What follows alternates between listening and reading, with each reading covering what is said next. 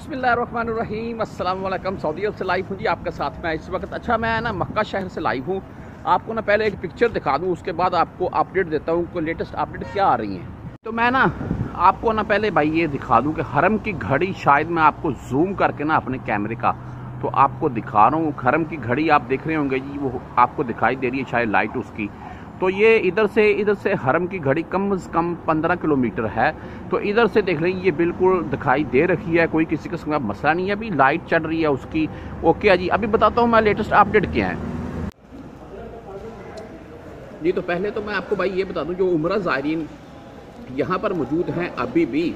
मक्का मुकरमा में 300 अफराद है जी। उनकी जो उम्र ज़ायरीन यहाँ पर आए हुए थे और अभी फ़्लाइटें बंद हैं तो आपको पता है जी, यहाँ पर ही वो मुकीम हैं, जिनकी बाइक टिकट वगैरह यहाँ पर थी, यानी कि फ़्लाइट वगैरह यहाँ पर उनकी मौजूद थी, वो तो जा सकेंगे और चले भी गए होंगे बहुत से।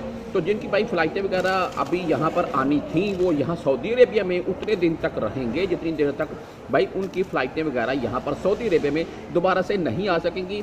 सऊदी हुकाम की तरफ़ से ये कहा जा रहा है कि ऐसे तमाम बंदे जो कि उम्र ज़ायरीन हैं, यानी कि तीन सौ जैसे मैंने आपका तदाद बता दी है उनकी उनका भाई ख़ास ख्याल रखा जाएगा, उनकी होटलिंग का, खाने पीने का, हर एक चीज़ का निज़ाम सऊदी गवर्नमेंट की तरफ़ से किया जाएगा।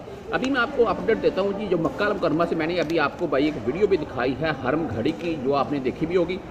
तो एक लेटेस्ट अपडेट आ रही थी कि मक्का, मदीना और तबूक, इन तीनों शहरों में गुबार उठा हुआ है।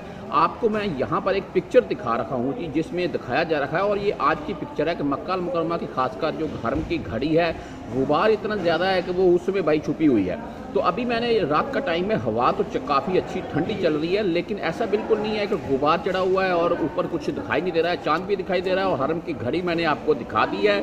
ये लेटेस्ट अपडेट है जी, किसी भी और न्यूज़ के मतलब जानना हो तो मुझे कमेंट कीजिएगा, अपनी सिर्फ़ ख्याल रखिएगा, अल्लाह हाफिज़।